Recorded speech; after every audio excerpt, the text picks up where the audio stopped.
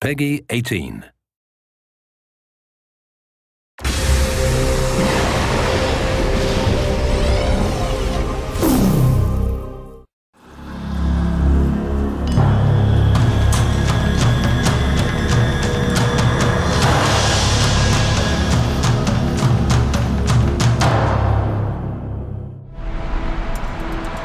My Lord, who art in heaven, hallowed be thy name.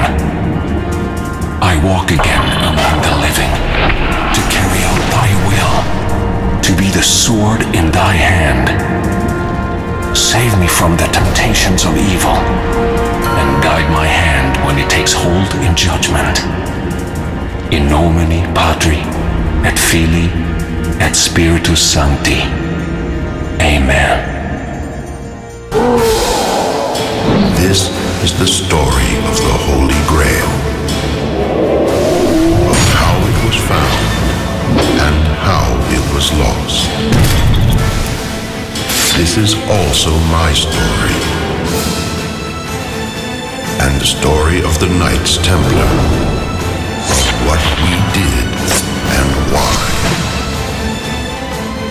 To this day, I keep asking myself, was such power given to men?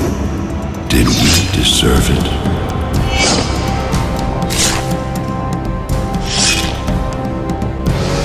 The path is clear now.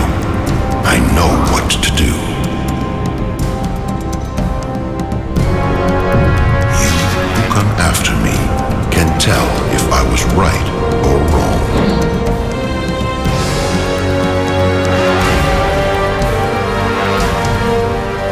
you shall know the truth, and the truth shall set you free.